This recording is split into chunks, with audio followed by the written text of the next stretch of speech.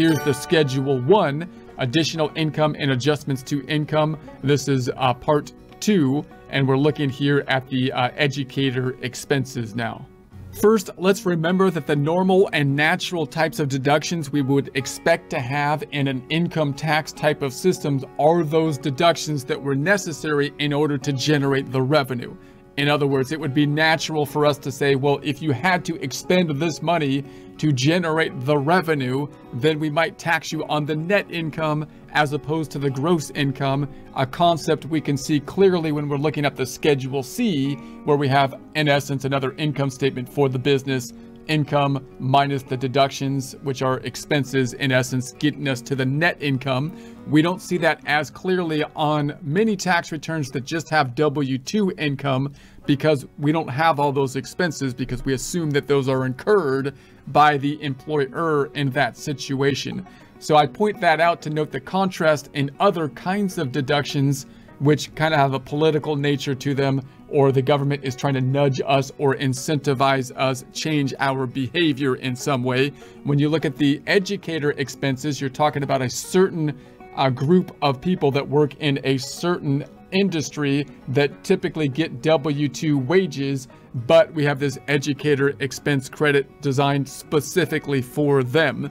And that happened quite some time ago. And it might be like the power of the unions kind of uh, at work and whatnot. Although you might say, well, that's still pretty small uh, credit at this point, And that's in part because it is an older credit. So this is something that was put in place a long time ago and it just kind of hung on there, although it's not been increased automatically all the time for inflation, and therefore the dollar amount has looked look more and more relatively low compared to to uh, to what it prior was, uh, for example, or to normal people's income at this point in time. So if people qualify for a qualified educator, usually you're thinking someone that's working as as a teacher in like K through 12, for example, then you would assume that they would generally get this credit. So it's something you just kind of basically be aware of. You're saying what, what occupation do they have? If they're a teacher, then you're thinking they're probably going to have this credit.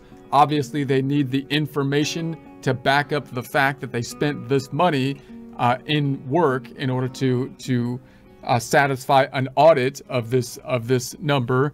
But usually you would think if someone qualifies as an instructor and they're a full-time teacher, they probably do spend, you know, $300 uh, in order to a year in order to uh, to facilitate the classroom. And there's a very low cap uh, on it there. So in other industries, obviously you might think, well, I do other stuff that's like important. I'm a nurse or something or, something like that. I should get to deduct some of the stuff that I bring into my patients to make their room. I'm, you know, I'm bringing stuff for the room and stuff. People spend money on their work.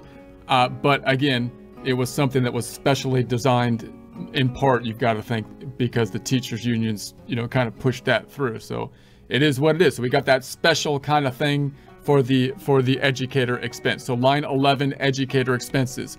If you were an eligible educator in 2022, you can deduct on line 11 up to $300 a qualified expenses you paid in 2022. So again, the dollar amount is relatively low. It hasn't changed too much over time because it hasn't had an automatic increase uh, with inflation. So so so but it still kind of has stuck around this whole time. It's it's kind of an interesting thing.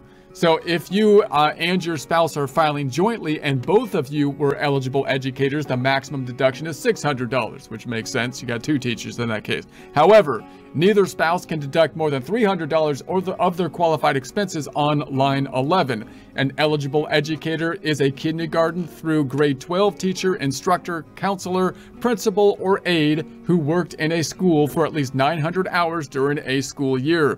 Qualified expenses include ordinary and necessary expenses paid. So that's kind of the general rule that you would normally expect on like a Schedule C type of business in a natural kind of uh, deductibility component. If I had to expend something in order to generate the revenue, I should be able to deduct that so that you tax me on the net income as opposed to the gross income. However, if you're a W-2 employee, most people don't get any of those deductions at this point in time because it's assumed that as an employee, your employer is taking care of that situation. Obviously, uh, industries are different in terms of how much the the employer is taking care of it and when you're taking care of people like like uh, nurses and teachers and whatnot uh, i'm sure a lot you know a lot personal money could clearly be spent that would that would that would uh, go out of people's pockets. But that's true for a lot of professions as well. So in any case for professional development courses uh, you have taken related to the curriculum.